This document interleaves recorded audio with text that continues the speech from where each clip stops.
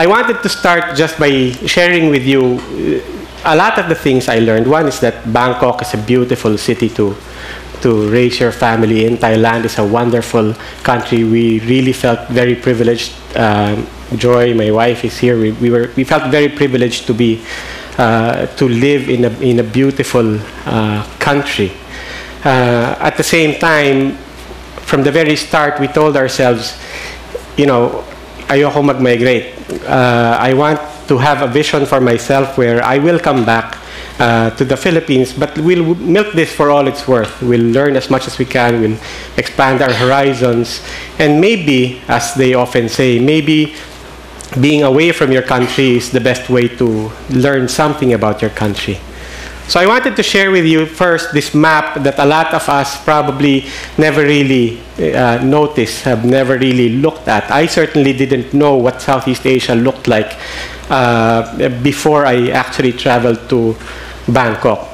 This is a map that I've used very, very often. It's just basically color coding the state of free expression and press freedom uh, throughout the region. Uh, I won't go through it in the details. Let's just say uh, the Philippines is there. Obviously, we're on the freest end of the spectrum, uh, notwithstanding the fact that we do have a lot of problems. And let's just say red over there is the strictest, uh, are the countries with the strictest uh, regimes and the strictest controls comes to free, come to free expression.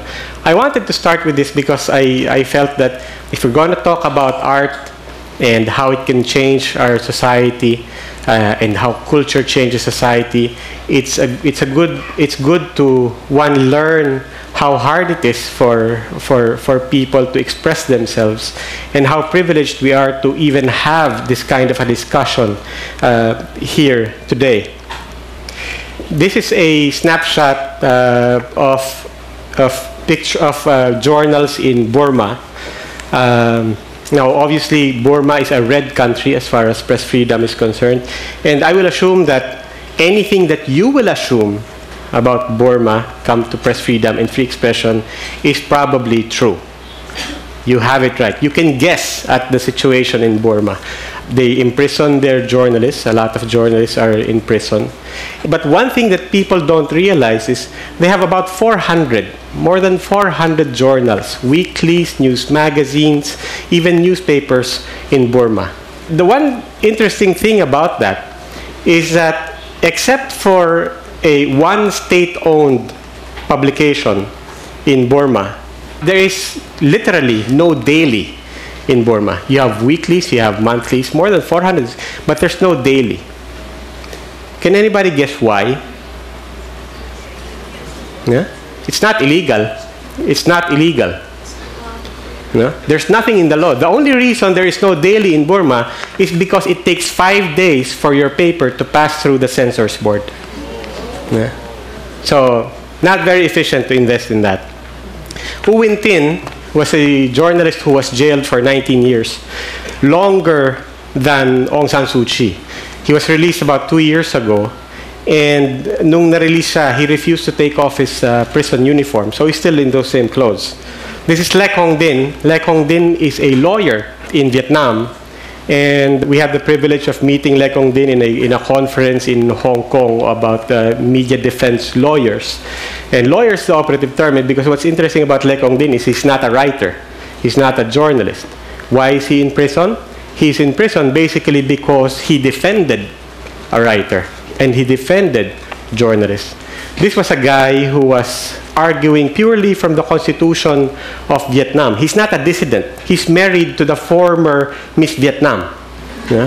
He's, uh, he's lawyered for Yahoo, he's lawyered for Toyota. So this is as close as you can get to being establishment in Vietnam. But because he represented some writers, he's now in jail. This is Steven Gan. He's editor of uh, MalaysiaKini.com, which is the number one online news in Malaysia. And I just wanted to show this because this is a scene from the first time they were raided, the first of three times they were raided in Malaysia. I'll talk a little bit more about that. Uh, the, there's something very, very ironic about what happened there. And this is Chiranuch Premchaiporn. That's a Thai name, and thankfully she allows me to call her Jiew. Um, so this is Jiew. a very, very good friend, one of the best friends I ever made in, uh, in Thailand. Uh, she was arrested because of lèse majesté, no? insulting the monarchy. Uh, which is very vague. You don't really know what it is. But it's so vague that she was arrested not because of anything she wrote or anything even that she posted. In fact, she was basically, you can say that she was arrested for taking something down, over something that, was, that she took down. She was arrested over an anonymous comment posted by an anonymous user on the website that she runs. And she was called by the police to say did you notice that there was this comment insulting to the monarchy and so on? Uh, yes, I'm sorry, we'll take it down. Doesn't change anything. She's out on bail. Her trial started last February. And Ju is about, I think, around uh, mid 30s. Uh, if she's found guilty in that trial, she will spend 50 years in prison. Now, this is a this is a graffiti in Jakarta that I always look forward to seeing every time I I visit there. It's a it's a underpass yan, dadaan kang ganyan, uh, exiting from the main highway from the airport. Uh, this leads into the city, and there's this very colorful graffiti, and right at the top it says "Say no to art."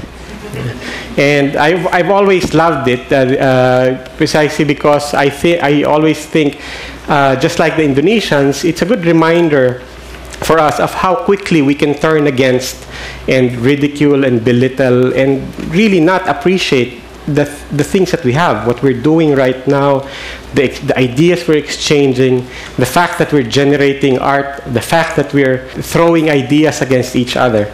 It's so easy for us to be contemptuous of art. No? Just recently, you know, we're celebrating it today, but it's easy to forget that just a few weeks ago, art was under attack that our expression was under attack. And it's easy as well to even say that, well, we can understand why people are against art in this particular case. But the reality is that when you look at how privileged we are to be doing all of these things, it makes you think, why is that? Why is it then so flimsy? Why could we celebrate it now why could we embrace it now? Why could we make it a topic that can trend on Twitter now? And yet, we don't know tomorrow, the next day, whether our own president will say, maybe we have too much free expression. It can be inconvenient. What's all this talk about freedom of information and, and, freedom of art and expression? Uh, it's divisive, and anything that's divisive is wrong. It's very flimsy when I think about it, I think sometimes maybe it's flimsy because art and free expression and our freedom for us is a value, it's a principle. But having experimented and toyed with this principle for the past two decades, we then tell ourselves, can it feed us? No? Can, it, can it give me a job? Does it contribute to our economy? I knew I was coming from a privileged and rather weird situation when I can say, well, actually, yes, it fed me, it gave me a job, and I can certainly speak for this economy of one. And the thing about living in Bangkok when you're working for civil society, for NGOs, is you, you meet a lot of people, a lot of Filipinos who are in the same boat as me. I met a lot of Filipinos who were working to fight um, to end child soldiers. They were working on HIV, AIDS. They were working for the empowerment of women. We ran into PETA a lot. They were training a lot of uh, NGOs in Bangkok and Cambodia on expression. We worked with PCIJ who were working with journalists in places where journalists are not legal and so on. And we would always ask ourselves, why are we doing this where we are right now?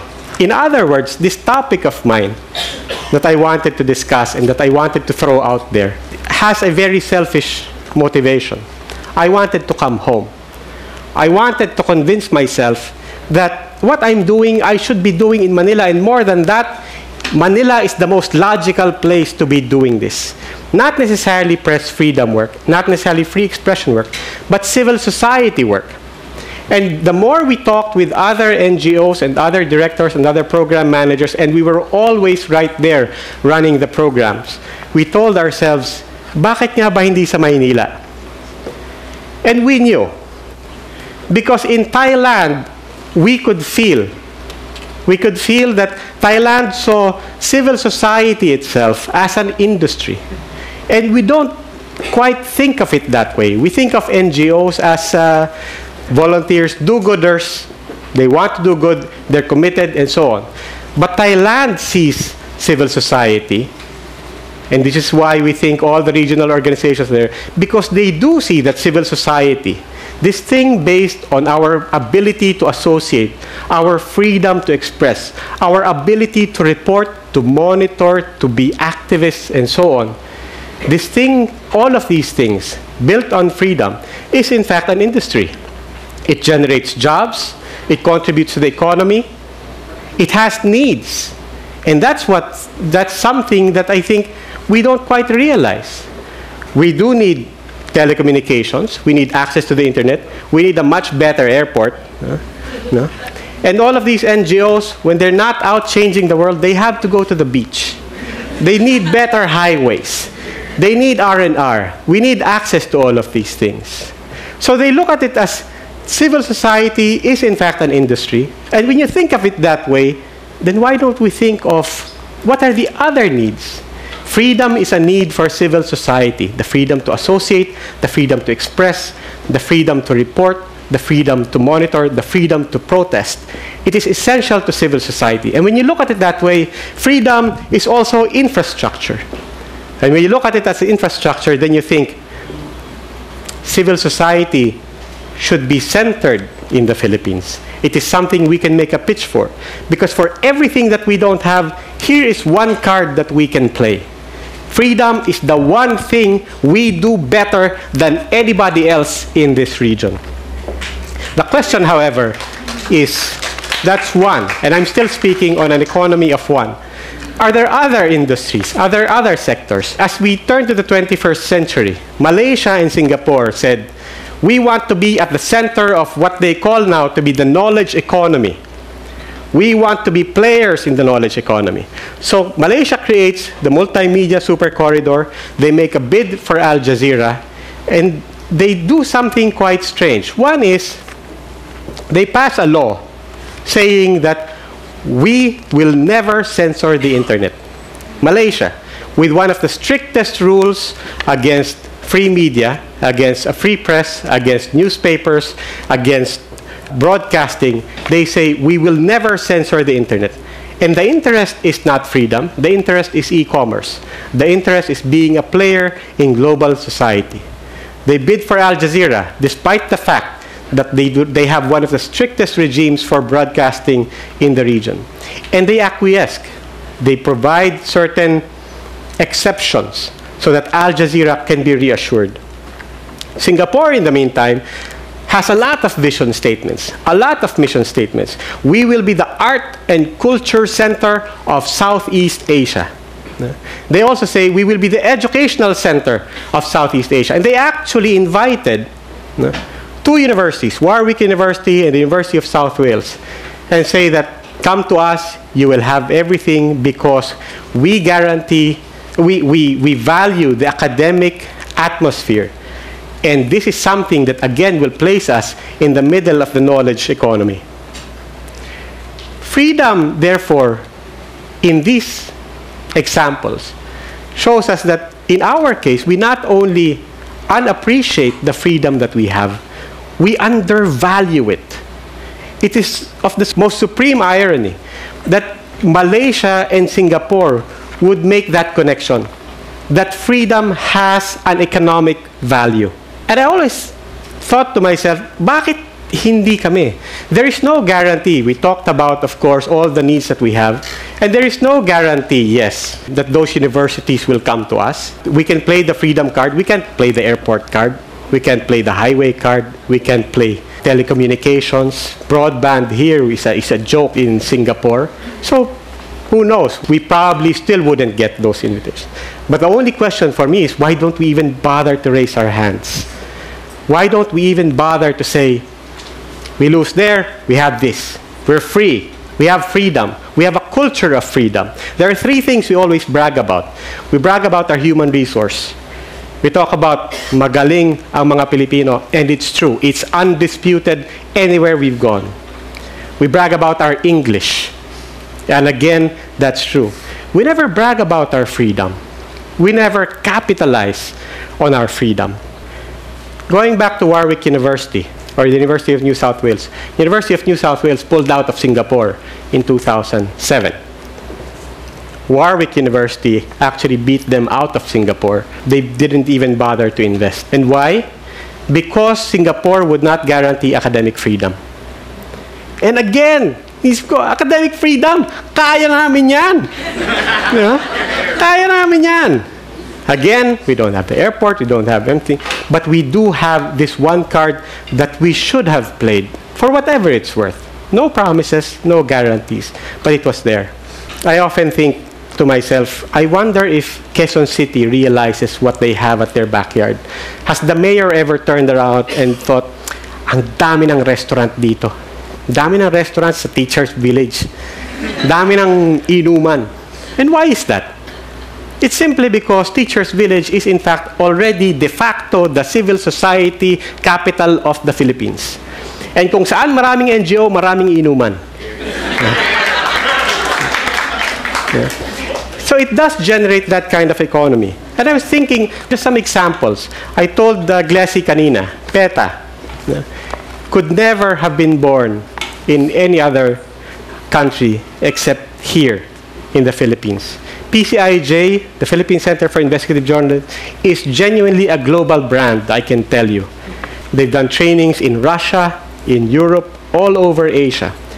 And PETA and PCIJ are exporting something that we do know how to do very well, which is teaching people how to express themselves. The ASEAN People's Forum, let's go to tourism. The ASEAN People's Forum is an, uh, is a, an annual event, uh, or semi-annual, and the last time they held an ASEAN People's Forum, it's basically a summit of NGOs. 1,200 people showed up. Next year, it's slated to be done in Cambodia. The Cambodian government doesn't want it. They don't want all these NGOs. Who bids for it? Bangkok. Bangkok says, do it here. Pay your own way here, get your hotels here, and look at the environment that we have for civil society in this country. Radio Veritas. It's astonishing to me that when I go to Vietnam and to Burma, that people actually know Radio Veritas. In fact, they know DZFE. No? Yes. Yes, the master's touch. People are listening to Francis Kong in Yangon. No? They're getting inspiration on how to move forward. But the fact is also they look to DZFE and Radio Veritas in their own language. They have, we have uh, uh, uh, Vietnamese services, Burmese services, and so on. They're listening to all of these things for independent news, or at least news independent of what the state would sanction. Our freedom is our greatest competitive advantage. And I wish I said that. Yeah. But I didn't. Michael Bloomberg said this just a few months ago. He said it in the context of the arrest of Ai Weiwei, the artist in China. And he said this. And my point precisely in this presentation is to say that not, oh, not so much that I wish I had said that, but that I wish the Philippines had said that. I wish the Philippines could say this that we do in fact have an edge in art, in graphic design, in civil society, in media. It is no guarantee, but it's the one thing we do as well. But all of these things, I will admit, are pipe dreams. No? Indonesia, right now, Indonesia is now bidding to be the human rights center of Southeast Asia. They are bidding to be the home of the future to be established ASEAN Intergovernmental Commission on Human Rights. They've established an ASEAN Institute for Human Rights at the University of Jakarta. And the whole government is strongly behind this bid because Indonesia is saying democracy has been good and we will invest in it and we will be the Hague of Southeast Asia. Why couldn't it have been the Philippines? All of this, I admit, is pipe dreams. I'm still talking about just my own personal opinion and my own personal experience as an economy of one. What I really need is to be able to tell you that, you know, I met a guy, he's looking to locate, good word for investing, and he says, I've been around the world, And I'll choose the Philippines over everybody else because of your freedom, not because of anything else.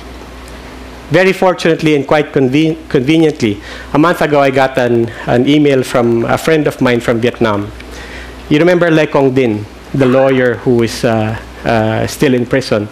Well, Hoi Trinh is a very good friend of Le Cong Dinh, and he has literally been going all over the world trying to keep the flame alive for, for Le Cong Dinh.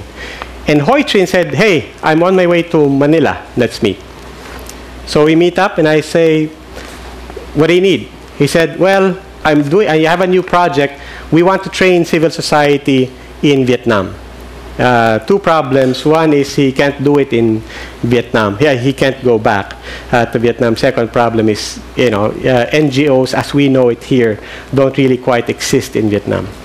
So he says, I've been around the world. I've been around Southeast Asia. I'm looking for a base for our NGO.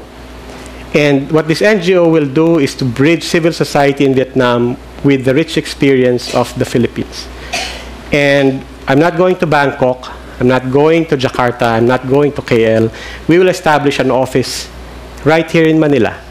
Not for anything else, but simply because here we feel the freedom.